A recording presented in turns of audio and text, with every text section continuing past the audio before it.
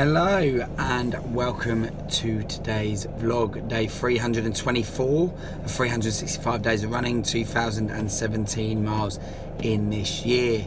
So, never miss a Monday Monday and today despite it being half marathon day yesterday, managed to get 5.1 miles in. So I was really happy with that. Um, it went well, it was fairly cold out today, um, but went out there, thought it's Monday, got to move forward now, got to, got to get this challenge done and got to hit certain figures, um, especially depending on how this week goes. It's looking like maybe 13 um, miles on, on Wednesday and then hopefully on Friday I'll be hitting a 20 miler, first time for a while, but um, hopefully I will be hitting a 20 miler.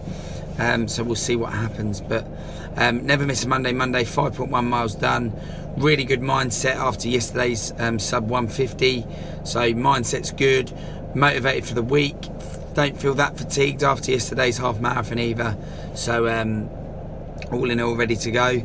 Just trying to get nice and warm after my run. It's just one of those runs where you can't warm up afterwards, but um, I'll get warm and we'll look to see what happens the rest of this week. Excited about the week, nervous about the week. Lots of emotions involved in, in the running this week, but we'll see how it goes. 20 is the aim on Friday. We'll see what happens. Have a great day. Never miss a Monday, Monday. Boom, boom, boom.